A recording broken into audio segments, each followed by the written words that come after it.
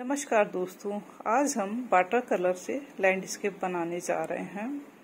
Water colour में water पहले आता है पानी बाद में।